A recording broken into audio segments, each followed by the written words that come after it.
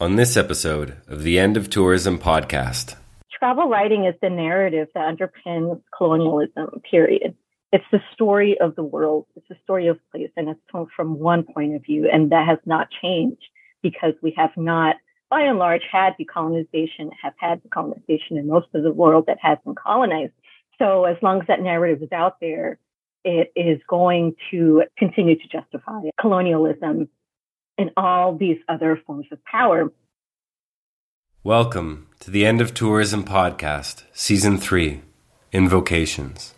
This season features a deeper dive into the crevices of exile, wanderlust, and radical hospitality with diverse authors, activists, and storytellers. For some, tourism can entail learning, freedom, and financial survival. For others, it means the loss of culture, land, and lineage. Our conversations explore the unauthorized histories and consequences of modern travel. These are dispatches from the resistance. You can listen and subscribe via Apple Podcasts, Spotify, or any major podcast platform. You can follow us on social media via the handle The End of Tourism. And if you want to continue to see the project grow, you can support us via our Patreon page at patreon.com slash The End of Tourism. I'll be your host, Chris Christou. On this episode, my guest is Bani Amor, a genderqueer travel writer who explores the relationships between race, place, and power.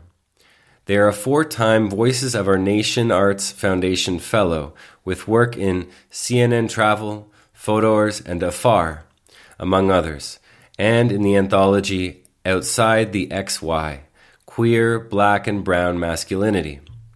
In our discussion, we looked at travel writing as a narrative that underpins colonialism and the identity crisis that it desperately needs. We consider contemporary social media travelogues, the limits to decoloniality and tourism greenwashing, spiritual or psychedelic tourism, what subversive travel writing looks like, and what travel writing looks like at home. Welcome, Bani, to the End of Tourism podcast. It's great to be speaking with you today. You too. Thank you so much for having me on. My pleasure. My pleasure. Would you like to start, perhaps be able to offer our listeners a little glimpse into where you find yourself today and perhaps what the world looks like for you? Well, first, my pronouns are they, them. I'm on the unceded territories of the Munsee, Lenape, Canarsie, and Matinecock in one of the global capitals of tourism, New York City, and Queens, New York, one of the most the most diverse place in the entire planet, especially ethnically, linguistically. Yeah. Mm. Noisy. It's slightly sunny. Wonderful. Thank you for for sharing that with us. And now to start, I'm curious about what drove you towards the fields of travel writing and if your own travels had anything to do with that. Of course.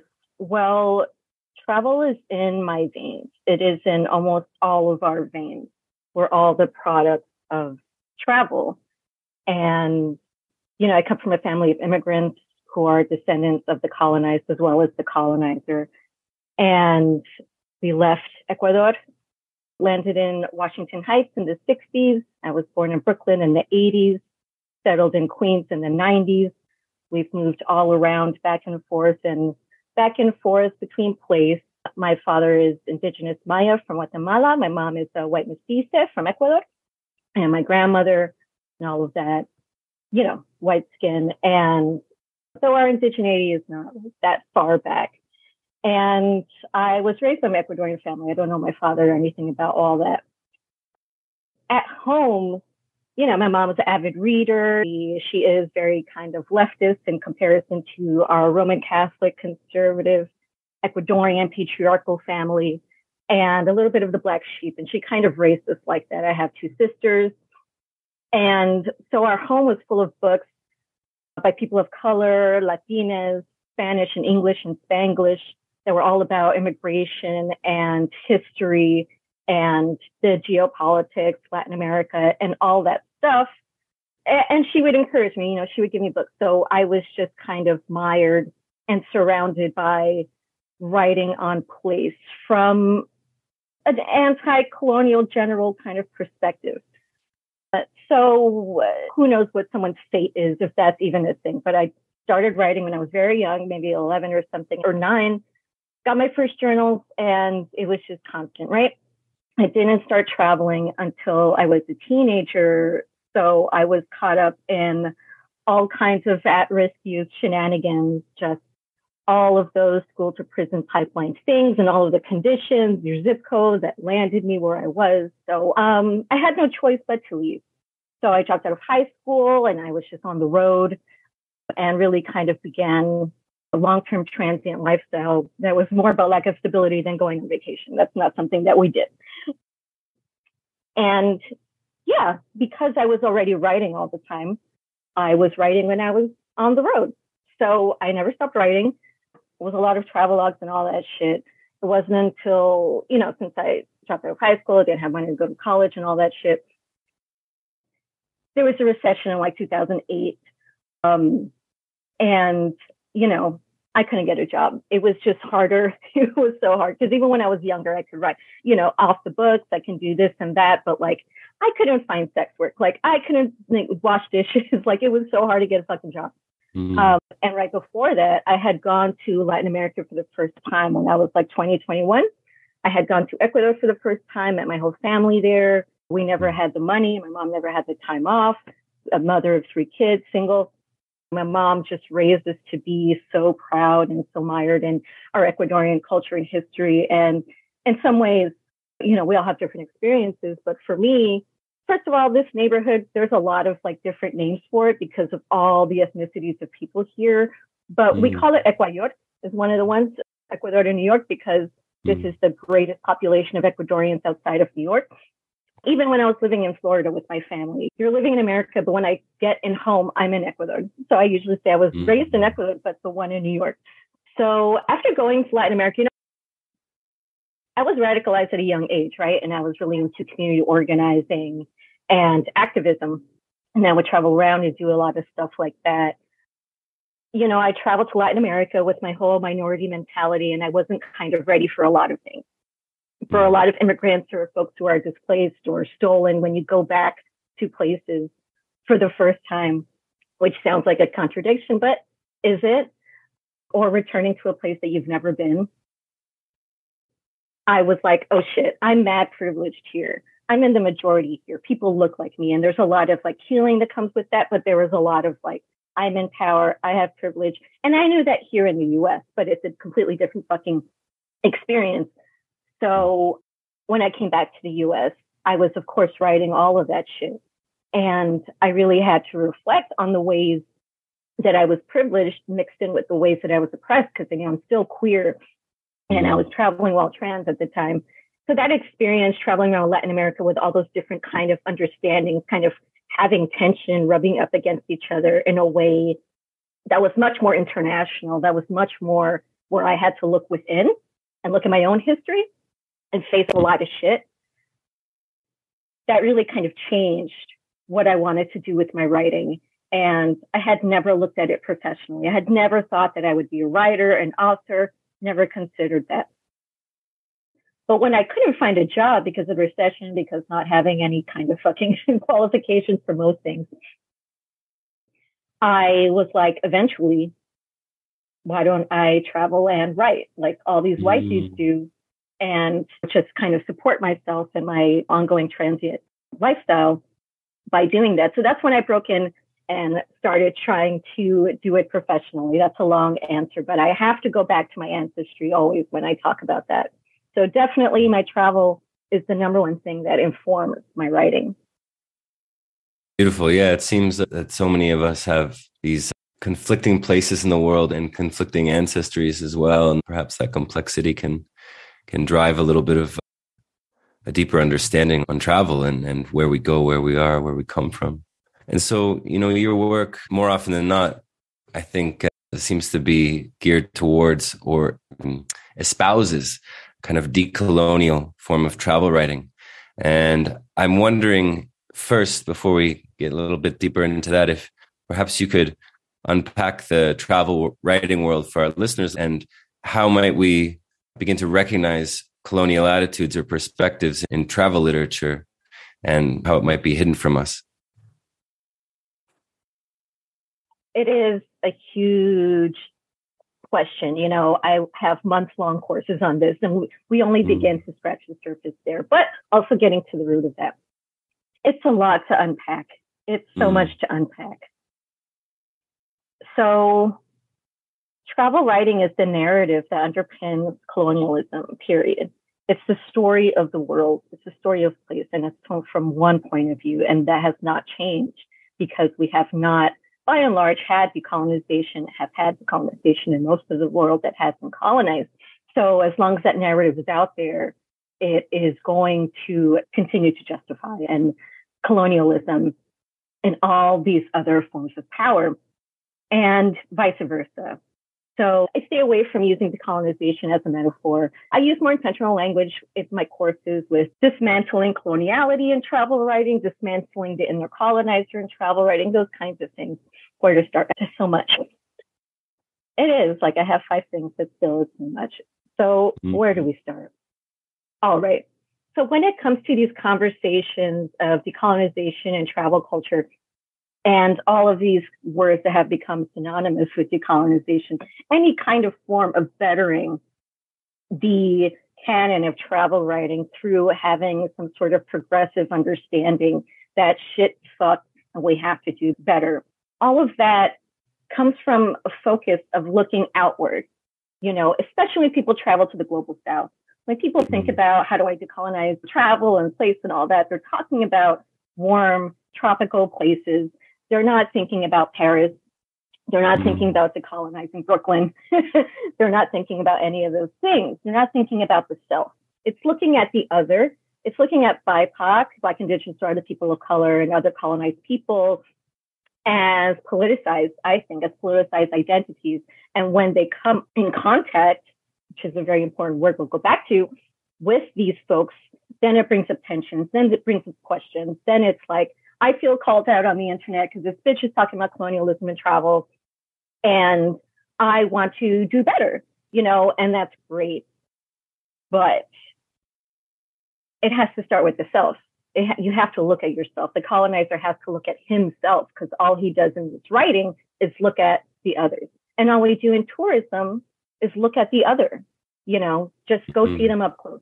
That, that can be complex, but what we're doing is just looking at people up close and under the guise of kind of learning about them and all these kinds of things. You know, obviously it's a form of consumption and that can happen through literature. But to kind of go back to the origins, travel writing, like I said, is the narrative that justifies tourism and colonialism. Why? Because, you know, the origins of the canon is in contact narrative, so-called point of contact. You know, you had not just settlers, you had all these other folks who were mapping and naming and researching and studying so-called the land and the mountains and the leaves and the fucking all the resources that come for one reason, and that is for trade. That is so we can colonize this place. And there's this kind of the traveler, not a tourist mentality. You know, you're a botanist or you're an anthropologist or all these different things that these motherfuckers like hundreds of years ago did really fed into scientific racism. It really fed into going to a place and no matter what you saw, there was a pre-existing narrative on what those places were that were just completely wild. You know, mm. Columbus thought he would see cyclops and three-headed monsters in the water because he read Greco-Roman shit. All of those stories and those people hadn't fucking left first of all, I'm not saying that no one traveled before colonization. That is something, you know, to note, but that's not what we're going to talk about today. It was the beginning of travel writing as entertainment because these people weren't exactly telling the truth about Black women in places in Africa. They wrote back to the people at home who could not travel, the common folk or whatever, that these were giants, that they were cannibals, that they spoke in gibberish, that they had different sized brains and bodies and they were dirty and disgusting and tall tales, really kind of creating through narrative a huge distance between different peoples. Why? Because the European had such a static view of the self so that everyone else, you know, is already inferior. by mm-hmm. design. Why? Because their intent and their number one agenda there is to enslave those people, to commit genocide of those people so that they could work the land so that the colonizers could trade them. So none of this was innocent, right? None of this was innocent. Those folks traveled on those boats for a reason, all of them. And a lot of them can call themselves writers, but you know, they're the answer of, of this whole. So mm. when I look at the history of it and you look at it now, it's fucking identical. It's really not that different. Not mm. much has changed at all in that whole narrative. And it's really important that we understand the history of that. It's really important that we study and read those right and stuff so that we can locate him, right? The inner colonizer and be like, I sound like that motherfucker, whether he's describing a landscape or describing people. So yes, there's a colonial way to write, I think about everything. And mm. when it comes to dismantling that, again, you have to look at the self, your history, your relationship to land, your ancestry. You know, you weren't born today in Kansas or whatever out of nowhere. Your story didn't begin there. Look, I need you to look and see who were the slavers. Like, were your ancestors homesteaders? And by ancestors, I mean like a grandfather, you know, with a lot of settlers in the US, for instance. So you really have to go back and look at that instead of having an understanding that colonialism was bad and I want to do better. It's actually a mm. lot more work than that. To me, I think once you see it, you'll see it everywhere. And that's what I kind of teach my workshops to identify through subtle use of language that once you see it, it's not so subtle because of going back to that stretching of distance between the standard, the default, the dominant, the colonizer, and the other, and making it so foreign to justify colonization because they are inferior and they're so different and so weird and so strange that they are fit for domination.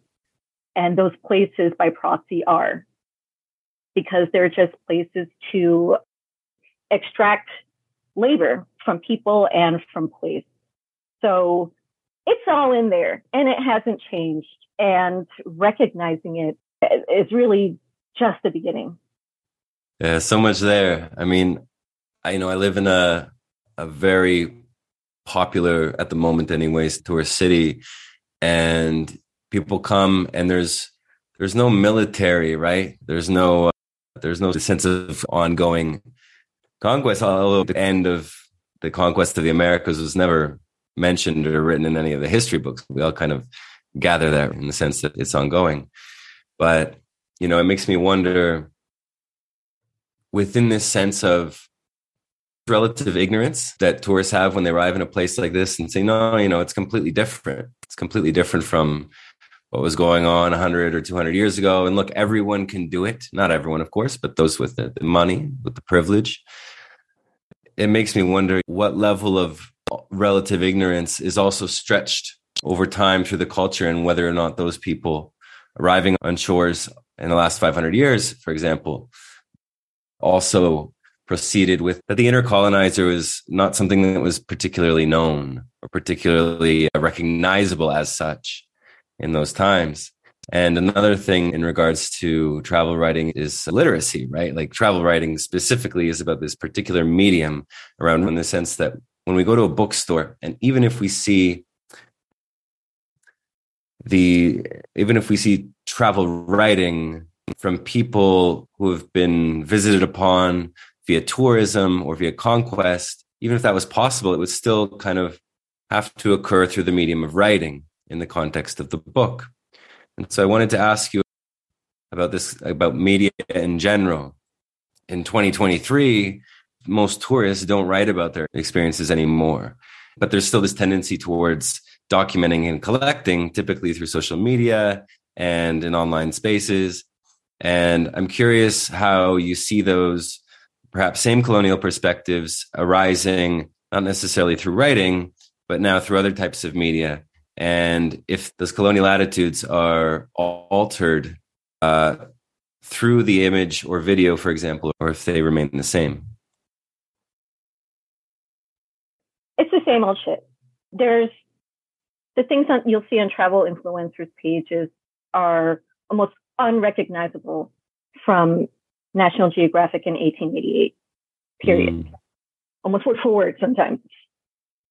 So the continuation. And I am a writer and write about writing a lot in travel writing, but I focus very much on travel culture in general, the mass mm. and tourism industry, travel zones where people of different clash against each other. That's why I think in travel culture tells us everything we need to know about power because of those tensions.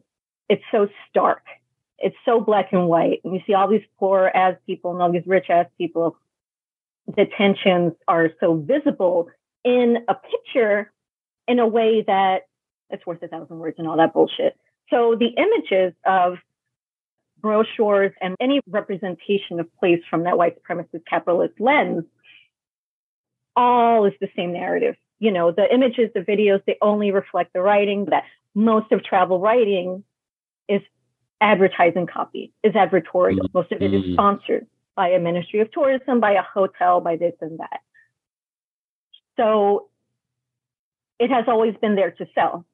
The image and the caption is always there to sell.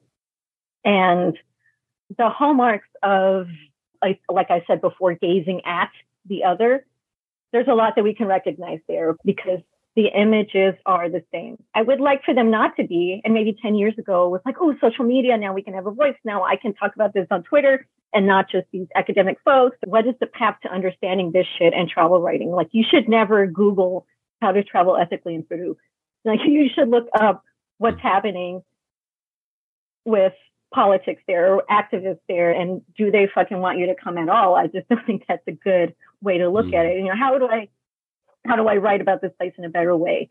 The travel medium is not meant for us to challenge it. So you're going to have to go elsewhere to look at that. That's just what I have to say about that. So it's the same. They're sponsored by the same exact people. They sell the same exact things. They use the same exact words. It's unfortunate that the evolution of the status quo and how they continue to appropriate all these kind of like progressive words or something extremely radical like decolonization when they're doing and saying the same exact shit. Mm-hmm. Um, yeah, you don't have to be white. You don't have to be a man. When it comes to travel, whether it was, you know, the colonizers, the settlers, and everyone else, we always emulate the colonizer. Now it's more accessible for more privileged Black Indigenous people of color to travel maybe from the US or places in the global north. It's replicating the same thing because who else do we have to look to when it comes mm. to migration around the world? It's all informed by the same narrative. So we just copy the same shit.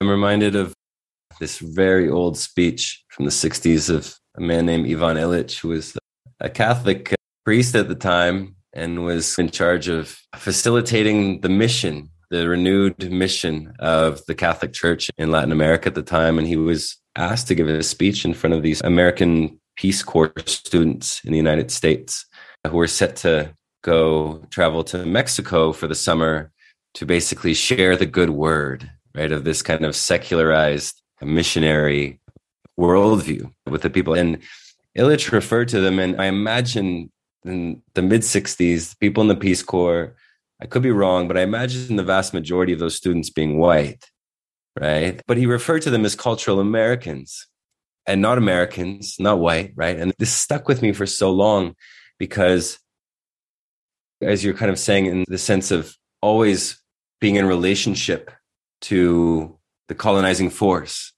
you know, and I think for, for Illich, he was kind of getting at that. The basis of the dominant culture is that colonialism, right? And so, in the context of travel writing and the way that our colonialist attitudes show up subtly, overtly, etc., is it possible to identify in that context decolonial attitudes? And secondly, if it is possible, what do you think some of those major characteristics or hallmarks are of decolonial writing or what decolonial writing could look like or does look like? I wouldn't put decolonial in front of writing. I wouldn't do that. It's too easy, right? Mm. What are the right words? I mean, we're speaking in English, right? Like we're already limited in many ways So it's an ongoing understanding of ourselves, of place, of history, and everything shifting. You know, our identities and place are always in flux. So these are constant, consistent questions in colonization. It's more about dismantling, right? Than kind of mm-hmm. just like going to solutions or what is the good way to do this versus the bad way to do this. Tourism is all kind of bad. It's all capitalism. mm. So we're starting from a fucked up place all the time. Uh, that's how I feel. And I like to say that travel writing needs to go, undergo an identity crisis. Like it needs to be chaotic because it's too comfortable. We don't want to put a decolonial bow on violence. Hmm. so that's a little too black and white, but some frameworks that I look at that exist, you know, might be small and might be large. You know, one is subversion. Subversion is very important to me because some examples of subversion of travel writing really turn everything on its head and they are kind of directly anti-tourism. They're kind of directly challenging tourism as a front-facing evil and also complex. One of those books, uh, Arun Ravine, The Romance of Siam, is a subverted travel guide to Thailand. They're trans, biracial Thai person and that book incorporates performance art and poetry and uses kind of like photos and movies about Thailand from the West to make fun of it. Something that they say, Jai, is they want the Orientalist to look at himself. So that's kind of what subverting does. If you can put a mirror on that and not bury the fucking lead, not being nice or anything. They're just an artist. They're not, Jai doesn't work in tourism. Jai doesn't have a stake in this going on. And that is very essential to me. If you have a stake in tourism continuing, if you were just like, I'm going to travel the rest of my life and I just want to do it in a good way, you're not going to be against it. And mm. I'm not saying I'm not a tourist. I'm not saying that these things are easy. We're really just talking about the writing aspect of it. So I think subversion is very important to again look at the self, look at how all of the images from movies and the guidebooks and the textbooks and the Mercator map, we have a distorted worldview from birth, right? I always talk about it. Mariame Kaba, who is an abolitionist, co-wrote this little zine. It's a PDF that you can get for free. And it tracks the radical black woman of the Harlem Renaissance in Harlem. So it's a self-guided tour. It just shows you what the places are, and it's cool zine that goes into just a little bit of the histories of all those women there. Because even when we talk about the Harlem Renaissance, it focuses on men a lot, and it's just so fascinating. There's a number of ways why that is non-invasive. First of all, when it comes to Black women, I think the people who are most interested about learning that history are Black women. So I don't think it attracts like a lot of privileged white people mm. and the rest of us. So the problem with that would be bringing in an influx of foreigners and stuff, and not in the bad way, but you know, outsiders to a place which immediately changes the real estate or immediately rises the rents, like immediately makes the place a tourist destination, which Harlem is already, you know, super gentrified. This is New York. But that kind of way that whether it's like a radical tour, this or that, you're bringing in people. When you bring in outside people, it signals that shit's changing and all of that. However, in most of those places in the zine, there is no plaque. That a lot of the houses are just replaced by parking lots and nice restaurants. It's not a pretty tourist destination. You're going just to honor them and see where they were and go to those stomping grounds that is just a way that I think is non-invasive and is more restorative because it doesn't focus on Black trauma as much as it educates on what these women did to liberate their people, many as writers, many of them were writers and mm. activists, and in their time recovered and restored other silenced and erased stories of Black women, all the histories of resistance. When we focus most on trauma and what wasn't there, it's like no one made things no one fought for better and those stories are erased and it's really important to learn that history and you can do it in non-invasive ways you can just read the zine and learn those things without having to go etc mm. Well, just a few things. I look at Subversion. I look at Detours, the Decolonial Guide to Hawaii, edited by Bernadette Vicuña Gonzalez and Hokulani K. Aikau. And instead of being a guide to traveling in Hawaii, it's a guide to decolonization movement in Hawaii and an anthology of all these different ways of looking at place, which is what it is. So I love that also as a way that is non invitational, that is based in mm-hmm. Reading other people's stories and not having to insert ourselves in that story or in that place. You know, can't we just be in relationship to how people are relating to their place? And why do we need to be there? Why do we need to be a part of it? Um, and why do we even need to be the people who write about it? Sometimes we just mm. need to mm. read and shut up and stay put. Mm. That's a lot. Minimal. And I would love to see them just grow more. Yeah, absolutely. This notion, generally speaking, is kind of a general term or maybe quantum physics, but I've heard Bayo Akomolafe speak to it a fair amount. This notion of entanglement and the colonial mindset and the colonial culture and colonial history that there's no just stepping outside of it with the snap of a fingers, right? And that this work is really the work of many lifetimes. And you did mention you didn't want to necessarily put this decolonial label on things because it's too easy. And I wanted to ask you in this regard because here in Oaxaca, a place that a lot of travelers and tourists come to for quote unquote cultural tourism in order to see, experience, consume culture.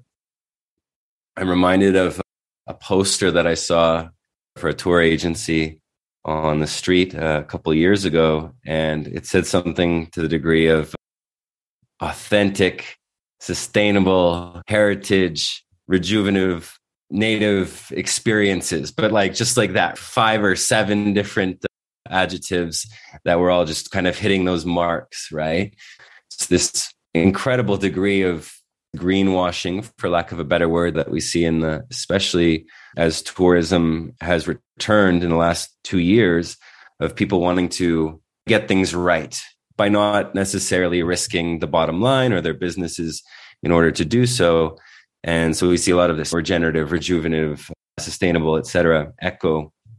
And I'm wondering if personally I've seen any kind of greenwashing in regards to decoloniality and what might be the consequence to this this decolonizing project if we start to use that term flippantly the status quo always subsumes language that comes from radical movements in order to placate folks and to slow those movements down like those motherfuckers taking the knee, it's like the aesthetics of radical movements. If you take that, and language is also aesthetic, it can be. If you take those things, then you can actually continue to justify capitalism and the same exact business by using maybe what they see as evolving language. So, I mean, from a strictly capitalist point of view, it's obviously little buzzwords so that people can buy shit. You know, it's always looking at who the market is right now. And they're looking at, especially 2020, you know, Black Lives Matter. They're like, oh, this is a moment.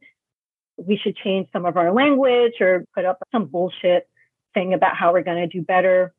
Unfortunately, a lot of people thought that that was sufficient. It's travel writing. It's the most colonized genre. It's just all about selling more stuff. So that's okay. And even if some people have good intentions and stuff, you want money. so you don't want tourism to stop because it's too much. Um, in some places, mm-hmm. it's too much. And if it continues, it's always going to be too much. It never becomes less. And when it does, it only shows that tourism economies are fucking evil, completely unsustainable, and a form of neo imperialism. So it's about weakening those movements by assuming that language and appropriating it. That is always the point of taking that. Even if folks, again, are doing with good intentions and are part of these things and they want to be like, I want to start this new thing. You have folks, you know, of all kinds starting their own things. And again, it cannot always be black and white, but it has the same roots a lot of the time. There's so many rebrandings of tourism that speak to this ethical tourism, sustainable travel, eco travel, transformative tourism, restorative tourism, decolonial tourism, solidarity tourism. I've seen all these words at least in the past year. I think it just goes back to what I said about it being too easy. I'm not doing colonial tourism. I'm doing solidarity tourism. I'm doing ecotourism. I study this, right? So I know all the complexities there. Like I know good frameworks, great frameworks, you know, tension. I know about those entanglements. I'm saying we're consistently rebranding the same shit. You know, mm. I don't like my social media or any of my presence to be like, I hate bad tourists you know, bad white guys, they're annoying, you know, go with their Ganesha tattoos to places where that's illegal and then complain, you know, or haggling in East Asia like you suck. Eh, I don't let myself off the hook. It's not about the bad ones. Because it's more to me about systemic issues and not just individual intent. And I know that that is mm. kind of at the heart of putting those words in front of tourism. I think most of those terms come from people who recognize the issues there and want it to be a little bit better. Obviously, it's coming from a horrible place. So I think it has a lot to do with placation. I think it has a lot to do with people kind of progressing and thinking deeper about these things. But there is a rush to make money off of it and to rebrand it. And I just think it's too easy. I think if I kind of talk about these things outwardly, you know, I'll get people who are like, yeah, I'm a traveler, not a tourist. And I travel to learn. I hate those tourists. And I'm just like, you're a tourist. It's okay. I'm a tourist. It's not a bad word to me. And travel is not a good word to me. So call it whatever you want. It's all tourism. And if that's something that you're really interested in and you want to look in, it's really important to look at the research. There's a lot of companies that put out papers and studies and do on the ground kind of studies and talking to people about these things. And you could read those things and you could just go to the website and say, who owns this shit? I look at their faces and I'm like, I don't, hmm. You know, it's all white women. It's all white women who went here. Her life changed. Now she wants to do this. She has a B Corp, blah, blah, blah. Same shit. It's all the same. Most of it is the same. And if it's coming from a ministry of tourism, if it's coming from a corporation, you have a stake in tourism, you have a stake in business as usual. The usual would just be a little bit prettier. And maybe those things can be temporarily good, but they only continue harm. It doesn't erase. We don't go back in time when it mm. comes to ecological destruction, domination, colonialism. Look at Malawi, look at Mozambique, look at Hawaii. It's not going backwards. Machu Picchu is not going to rebuild itself like there's too many people on every period. It's melting. I don't like the rebranding of things because I think we want to think it's something completely different when usually it's like some of the money goes to this little group and that's kind of it. I think the greatest danger in appropriating language from movements that are about tangible change and radical restructuring. I mean, we're talking about dissolving of the settler state you know, rematriating the lands and cultures of people and reparations. If we have those reparations, a lot of people wouldn't be able to tour all these places anymore. I think the biggest danger of that is the idea of reformism. And you cannot reform colonialism. Tourism is the leisurely face of colonialism. And it is not challenged as an inherent good and inevitability. It's like people are going to travel, so what do we do? And the same with colonialism. It's like, you know, why are we going to decolonize when we can, you know, reform the cops, reform prison, reform capitalism, mm-hmm. reform America? You can't do that. So, of course, this country loves the words I have a dream and it loves some things when they become popularized to the point where then it can become appropriated. And so I think the biggest danger of taking, being inspired or informed a little bit by radical language and some of those frameworks and trying to apply it to such a destructive industry as tourism um, makes it seem better, makes people want to do it more. Because then it's like, now I can be involved in decolonial tourism. It just furthers harm. And I guess at the end of the day, it's extremely, extremely difficult to to see how one's consequence in a place actually ripples out over it when they've gone home And speaking of, you know, speaking of this, something that kind of hits close to home a little bit is this notion of spiritual tourism. You wrote about extremely eloquently in a beautiful essay from 2019 entitled The Heart of Whiteness on Spiritual Tourism and the Colonization of Ayahuasca. And it hit home in part because I had some drug issues back in the day and uh, decided to head down to the Amazon, you know, about 10 years ago in order to get clean. And, you know, it really helped. It certainly really helped. But um, I guess in the years that followed, there was a lot of friends who I met there and friends from other places who had done similar things and maybe not for the same reasons. But I started to see mostly on social media the kind of growth of this spiritual or psychedelic tourism and its relative consequences on the places and people that bore the brunt of it in places like the Amazon basin. And so I'm wondering, given that this essay that you wrote, and I'll make sure for our listeners that it's up on the website once the podcast is launched, given that it was written in 2019, some four years ago, I'm wondering how much of what you wrote about has changed since then? And also what drove you to write it in the first place? Spiritual tourism same shit different day. With colonialism everything is up for grabs. With tourism everything is up for grabs. Every single thing. Hmm. and herbs things that grow out of the earth people their time and energy all of it is up for grabs. If you pay for a flight if you pay for a tour you feel entitled to everything you know even if you exist and you have power in your blood, there is no questioning the entitlement of travel and everything that comes with place. It drives misogyny very much and gender depression because women are seen, especially Black and, and Native women, are seen as part of the land. And well, this goes one into one of the tropes that I think is so latent in spiritual tourism, the heart of whiteness which of course is a play on Joseph Conrad's The Heart of Darkness.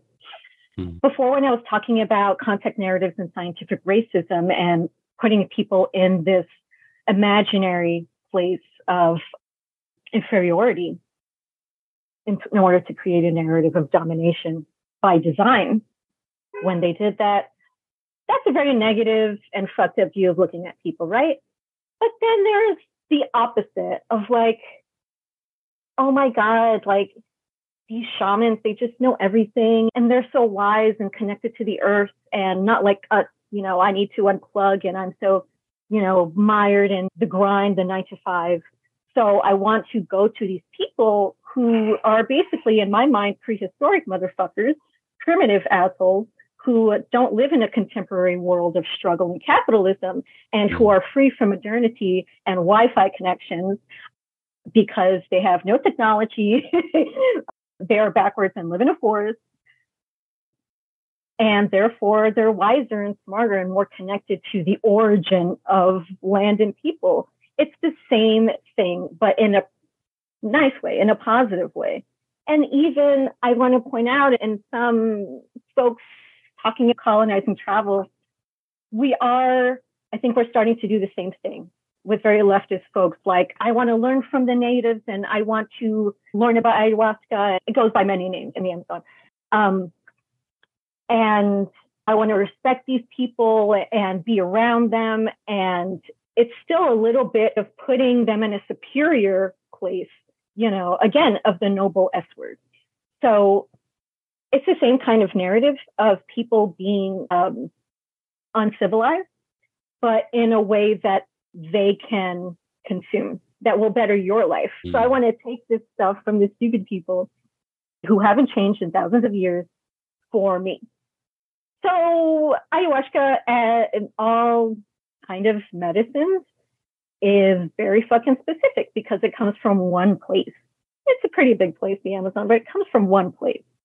Mm. So there's a lot to talk about, but let's forward to I know you talked about your experience. I don't descend from Amazonian people. I talk about that in the piece. After years of struggling with that and so many friends being like, what's wrong with you? You are in a dark place all the time. you need to do this. All my friends were indigenous from the Amazon. And so I had seen this culture for years of the spiritual tourists with their dreadlocks and shit and their artesanias and all their weed and like, ooh, this is going to be a cure. That is the problem with appropriation. From a Western lens, it is always taking a new trend, whether it be quinoa, acai, you got ayahuasca, you got different forms of things that can be used to better one individual's life if they want, or just to use to have fun or whatever, because they can. That is really, really the point. What it does is it takes something very complex and specific that exists in its context and makes it into a miracle. You know, mm. ayahuasca is going to cure you. You don't need medicine. You don't need surgery. You know, you don't need therapy. You are going to be cured by this magic substance that is growing magically from the earth. So when you take something out of its context, it's always making it this special magical thing rather than just something that a lot of people do habitually to commune with the rainforest, which is where a lot of people's ancestors are in the Amazon. My point before of specificity of the fact that it's so far from you is I understand the science of DMT. You can find that in many other places. What's wrong with shrooms? What's wrong with LSD? Did you get bored? Is this just more exotic? Go somewhere in a field and find some shrooms, like leave the Amazon alone. Why do you think that something that's buried in the earth on the opposite side of the world is going to fix you? Like that lack of culture, any lack of culture, because that's what settler colonialism does to a lot of us, is separate us from that root. And I think white folks, you know, I can put myself in there, you know, it, we're all racialized, are the furthest from the source. They're the furthest mm. from the spirit, mm. they're furthest from being a part of a culture, having any relationship to land. So when you see land as just a place that you are, instead of having any relationship to it, you're going to just think, well, that's over there and I can buy it and I can get it and I can do it. I can do it for really cheap and I can do it in these white fucking yoga Gaia places in the heart of Peru. It's so separated from the origin that it's just like, why would you do this in Brooklyn? Like, what's your problem? It's just regular medicine for people. It's a part of their culture and their life for thousands of thousands of years. It's not this new thing for you. And I don't know how something that is from so far away is going to heal you. You can easily have that experience somewhere else, period. And even if you don't think you can, you think going to this part of Ecuador is the only thing that can help you with your alcoholism, you're wrong. But go, you're not going to stop. They're not. If there's money to be made off of something, there's going to be no end. We saw that with cotton. We saw that with this. We saw that with quinoa. It's bad.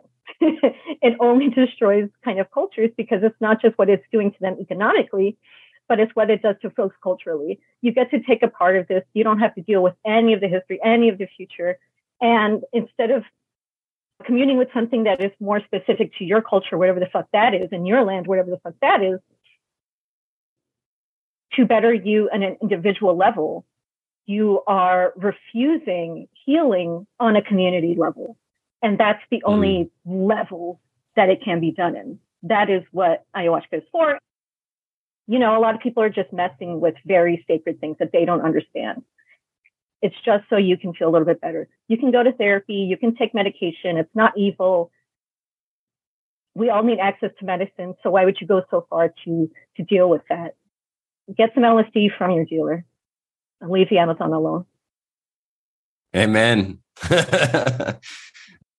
Yeah, I mean, that's fascinating. And for me, one of the things you said about you know this notion of individual healing versus communal healing, I think is so important because even if these plants have been used at present or in the past for communal healing among the people who've stewarded them traditionally, the immersion into a place for a week or two weeks or a month or however long without any kind of cultural or historical background as to where you are and when you are, etc and then returning on a plane to this place and culture and kind of ground of being that that allowed or permitted your illness or your disease to have a place in your life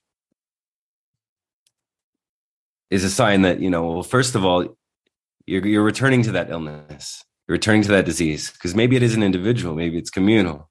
And then secondly, that there's not necessarily going to be anyone there to actually understand what you've just gone through and all the consequences around that.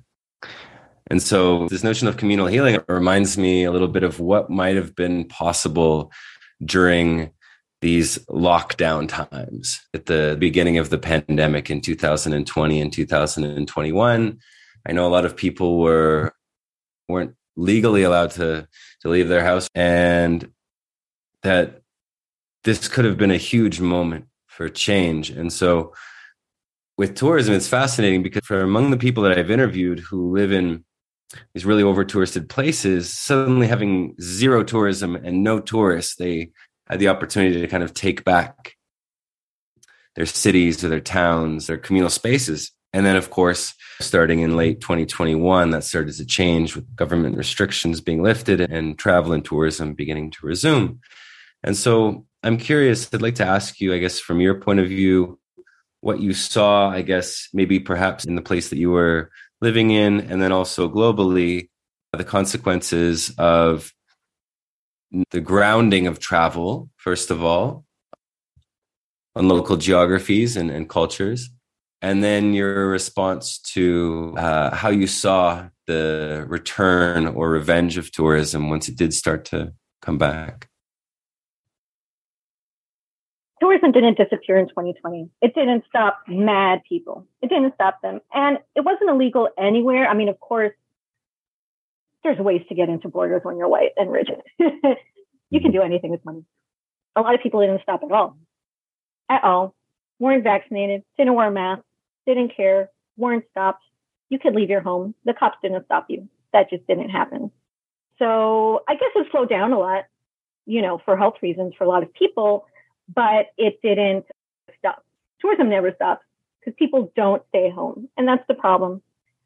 I think since the beginning of the pandemic, it has only really made the oppression much more stark and power differences much more stark, you know, between these different places people are coming from and going to.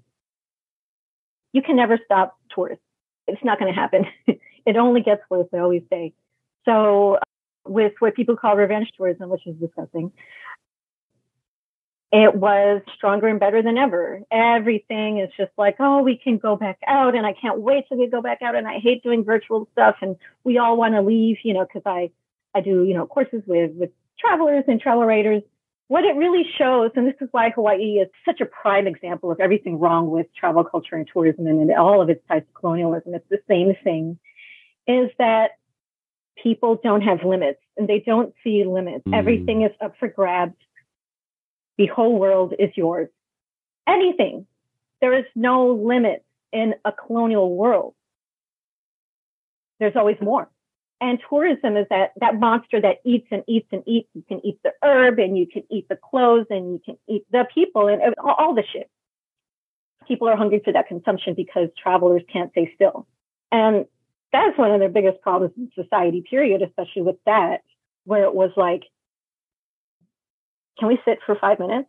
Because a lot mm. of people have been being reckless as fuck for three years because they were home for like two weeks in 2020. Mm. Like, you didn't stop. You weren't masking. Shut up. You weren't testing. Tests were not widely available. Vaccines were not widely available. And then you're traveling to places, even if you were vaccinated, where most of those people aren't vaccinated and they don't have the infrastructure to deal with all of these sick motherfuckers who should have stayed home where they do have access to things, even though millions and millions of people are dying because of this pandemic who are already mad vulnerable and are still dying. And people are still traveling without masks and talking about ethical travel on TikTok. Like all these precedents already existed. So what tourism does is just make it seem worse and very obvious. Um, so when I bring up Hawaii, I have a lecture called Wanderlust. And that, that word is so exemplary to me with what I'm saying right now. The lust for place the traveler cannot restrain themselves. They want no matter what. If someone says no, you keep going. I think what the pandemic shows us is that we can't stay still. The settler can't stay still. And escaping whiteness, which is what I think comes to the spiritual tourism part, where it's like, I need to escape privilege. Like Mm. I have a steady job. I go home. I can commute home. I have my family. I make too much money. I buy the same shit. Every day is monotonous. I am too privileged. That's what I call the heart of whiteness because you're trying to escape whiteness. And a lot of people, when we see, you know, 2020 or other things that happen, it's like, why do you guys live in the U.S.? The U.S. sucks. All this mass shootings and stuff. Just leave. You can't mm. outrun the U.S. right? There's a famous Spanish language meme, you know, visit the United States before the United States visits you in a military way.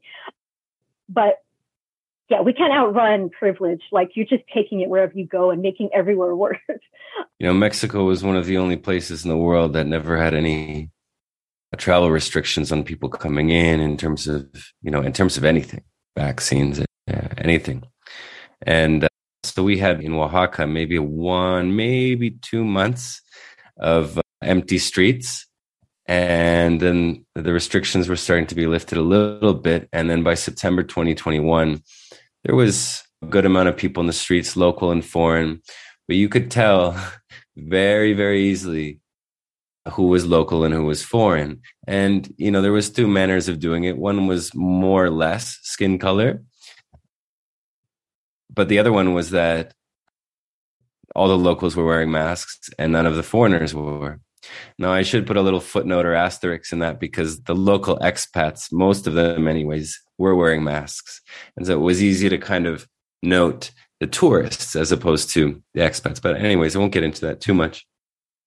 So, in this context of finding ways not just to stay home, but to honor place, to confront the inner colonizer, as you mentioned earlier, and perhaps to even gear travel writing towards the movements that we have in place. And so I'm curious what kind of possibilities do you think exist for a craft like travel writing if it was utilized in the context of one's own place? I think of the deep ecology movements and how this craft is typically considered quote unquote nature writing, among other things, and not travel writing. And so, can we travel in place in our own homes and neighborhoods, or am I just putting too much weight on on the language, on semantics? No, I am very specific about language because it matters so much. We're always traveling. Like I said, we all, almost all of us, are products of travel or have dealt with the brunt of travel with many indigenous people as Faith Adiele. Faith Adiele, she leads BIPOC travel writing classes, the first in the nation. She always says BIPOC, Black Indigenous people of color, are the most traveled and the most visited people on earth. Every time we leave home, we travel. And I've always think of the root of movement. Like I said, I can't get on the train. There's no elevator anywhere near me, so I can barely leave my neighborhood and navigating place and obstacles in place of community gathering and self-determination. So no matter what, whether I'm going to the corner or I'm going across the world, those conditions are always in place and I'm always contending with them and I'm always representative in them in my body. Right. Mm. Um, and the way the leverage that my power and my privilege hold is going to shift around the world and in the spaces that I am. So it's very important for all of us when it comes to writing to go again, look at the self and locate where you are within that hierarchy of power, those permanent ones and the ones that shift. So we have to consistently have an understanding, have an analysis of power and especially how it functions globally. So a lot of US Americans are going to listen to this and please think about the rest of the world. when it comes to anti-imperialism, nothing is getting better in this country anywhere until you know U.S. American imperialism stops this shit, and even then we can't go back in time. So I want to challenge people to think about dismantling capitalism and decolonization not as to be cheesy a destination, but a journey that is going to cure everything. I have a great talk with Hokulani Aikau, the co-editor of Detours a Decolonial Guide to Hawaii, and Alan Pelaez Lopez, who is a Black Indigenous femme, also near Oaxaca. Do you know Alan? No, I don't. They're migrant scribble online, and we had this conversation based in a decolonial future. Mm-hmm. And what did everything look like there and how we were contending with the same problems in this future where destruction has already happened. It's in the architectural review if you all want to look it up. Every every way that we move is politicized, is political. And understanding systemic issues is going to show people how that applies to everything. And I know that can seem overwhelming things, but again, instead of having a top down understanding of things, if we really look at the root of power and domination, we will see all the traces as it manifests in our life and all of our decisions. It is all encompassing. That's why I talk about travel, because I think it is all encompassing and it mm. is at the heart of colonialism and it's the heart of decolonization. So those narratives are out there. When I talk about travel, when I use that word very intentionally, I'm talking about all kinds of travel. I'm talking about immigration. I'm talking about the transatlantic slave trade. I'm talking about colonialism and studying abroad and Peace Corps and human trafficking, exile, and refugee status. I'm thinking about undocumented people, all of that, everyone being shifted. You know, I really don't like to center my shit on whiteness and how people can do better at things that I have never had access to do anyway. How am I going to tell you how to have ethical cruise? Shut up. I never been on one. Travel writing in your home neighborhood already exists. There's a great book, Beyond Guilt Trips, Mindful Travel in an Unequal World, Dr. Anu Taranath. She was on your podcast, right? That's right. That's right. And one of the little workbook sections that she has, I use in all my travel writing classes. And it's just asking these questions about what do you share with others and how do you do so? And what's available for you to share with others? And one answer to that may be like a privileged white person. The avenues that you have to publish your thoughts on anything or anywhere are plentiful. You have all the magazines, you have all the blogs, you have your phone at your fingertips to be kind of a mouthpiece for a place that you just went to. Or even if you lived there for a few years, you still, expats are so annoying. I say that, I don't know, whatever you want to call me. And one thing she brings up is what are the stories about that place that you are that already exist and mm. that you don't have to contend to? So it is very important that I read stories about where you are now and other places. I mean, if I wanted to read about a place, I would not go to the travel writing section of a bookstore. Hello, you know, so that travel writing already exists. It exists in performance, in poetry, in academic writing, in tweets. You know, I, I bring all this together in novels and in short stories and in nonfiction. It shouldn't just be travelogues. It shouldn't just be a touristic point of view. But like I said in the beginning of this talk, my shelves were lined with travel writing by people of color. They're just not called that because people who travel mm. are rich people who leave to go abroad, not people who have had to travel or had a little bit of privilege, like my family, to travel. Because uh, at some point you have to leave. Mm. It's all this mm. displacement. It's all this shifting of people around the world. If we don't trace that back, you're just going to be continuing to do the same thing. And it's all about the mindset of entitlement and not being able to stay still, which is very much the heart of coloniality, learning about your own place and seeing the stories that already exist about this place. So I would engage with those writings outside of the genre that we see as travel writing, which is just super limited, and go outside of that. I have a whole syllabus, which is very short. There's just so much more.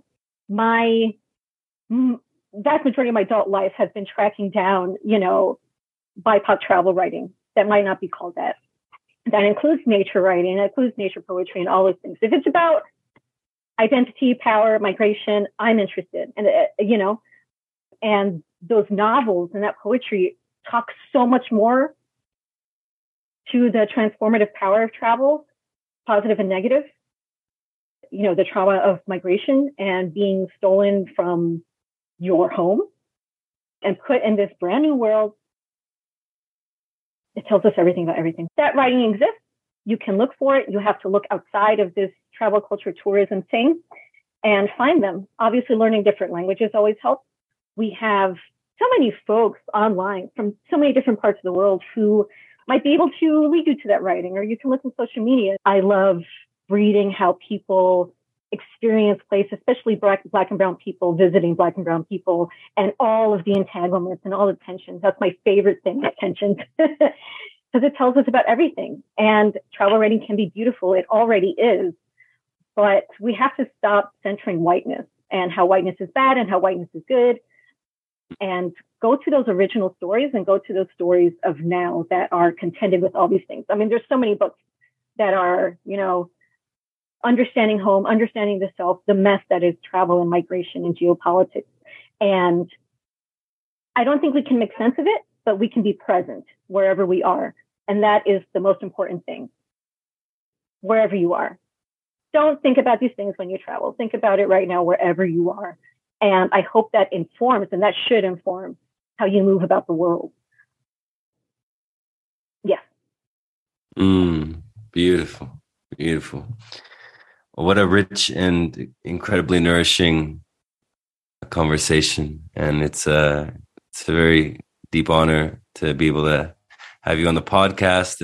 Before we say our farewells today, how might our listeners find out more about your, your work, your writing, and your writing workshops? Googling me is, is probably one of the best ways. So I'm on Instagram at Bani Amor, B A N I A M O R. And that's where I more quickly post my events and courses and stuff. I usually just post my writing. Maybe I talk too much shit in my stories, but I take big breaks from it. But I will be back soon to share my upcoming writing courses with the Hudson Valley Writing Writer Center. That is dismantling coloniality, dismantling the inner colonizer. You know what I mean? It's talk about the same shit, but it's mm. very dense. Trust me. so yeah, I'm very excited to always talk about these things with new folks and have these conversations. So you can look at my Instagram for that. Bani Amor is on TikTok, which I'm just running my mouth on these things in very short ways. But again, I take breaks from that. Google me, Bani Amor. You'll find a lot of my pieces. You can Google Bani Amor Linktree. So yeah, Google me, check out the Hudson Valley Writer Center, and I'll be doing some other stuff. I'm currently organizing a virtual BIPOC travel reading. So you can get into a mm. lot of this diasporic original shit. So check me out online. Well, congratulations on the new course. And uh, I will make sure that all of those links are on the End of Tourism website when the episode launches. And, uh, you know, thank you again so much for your time. I'm really grateful for your generosity in that regard and for being able to tease out so many threads out of these really complex themes. And I think that's the goal of the pod, but you know, it's always great when it's done on such a in such a succinct way. So thank you so much. thank you for calling what I did succeed. But, but yeah, thank you so much. Yeah, this is great. Thanks for listening, everyone. For more, you can check out the homework section under each episode on our website at theendofTourism.com. We'd also like to offer a deep bow of gratitude for our patrons who ensure that the project keeps growing and so that all of you can listen without a paywall. In this way, we participate in the gift economy and invite you to do the same via our Patreon page at patreon.com slash the end of tourism. Likewise, you can follow us on social media via the handle The End of Tourism. Until next time, farewell, friends.